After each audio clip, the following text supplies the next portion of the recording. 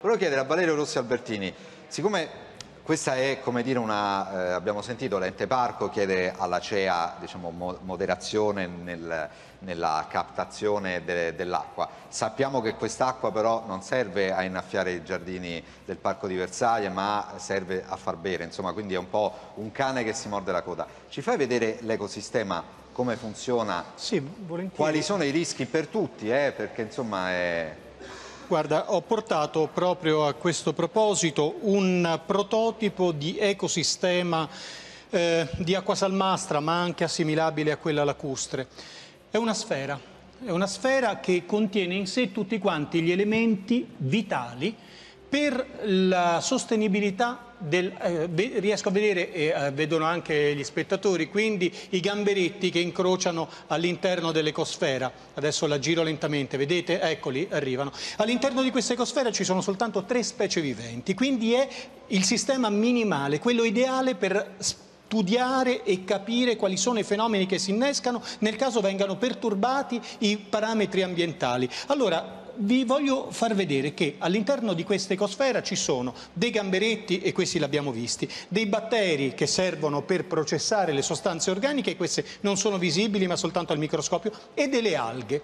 Allora vi prego di guardare proprio la superficie di questa sfera. Siccome questa sfera è stata in pratica nelle medesime condizioni in cui si trova il lago di Bracciano e tutti quanti eh, gli specchi e i corsi d'acqua, si è surriscaldata e c'è stato un, un fenomeno di eutrofizzazione delle alghe. Prima l'acqua era perfettamente limpida, la superficie era cristallina, adesso invece si è velata. C'è un velo verde che mostra che c'è stata una perturbazione che ha favorito una specie vivente rispetto alle altre. Questo è quello che sta succedendo in molti eh, specchi d'acqua, cioè che le alghe a causa dell'abbassamento si sono trovate in una condizione più favorevole e quindi il calore eccessivo dovuto alla stagione anomala ha favorito ulteriormente. A fronte di questo c'è stata un'evaporazione. L'evaporazione è il fenomeno concomitante a quello della captazione per l'abbassamento del livello.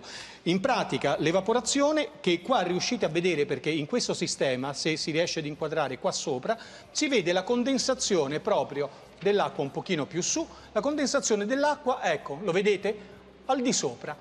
Il problema è che mentre in questa sfera che è chiusa ermeticamente l'acqua poi ripiove all'interno, nel nelle condizioni ambientali eh, solite, consuete, questo non accade e quindi c'è in pratica è come un salvadanaio da cui si preleva da due fonti differenti, da una parte il prosciugamento dovuto alla captazione, l'altro che invece forse è il più preoccupante è la causa principale, il calore anomalo e quindi l'evaporazione, fatto sta che si sta bruciando la candela per così dire dai due lati. E quindi le riserve idriche in Italia sono a serissimo pregiudizio. L'ingegnere Saccani ti guarda atterrito, tra l'altro ingegnere le dico che questa cosa lui no, non l'ha fatta diciamo apposta per noi, ma l'aveva già a casa, cioè lui aveva aveva già una sfera della NASA con dei gamberetti.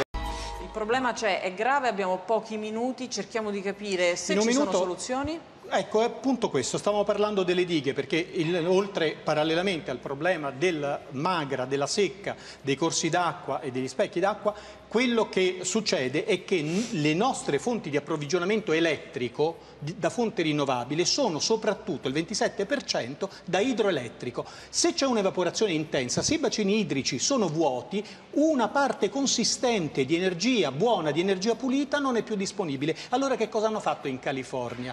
Vi faccio vedere che cosa hanno fatto a Los Angeles nella diga.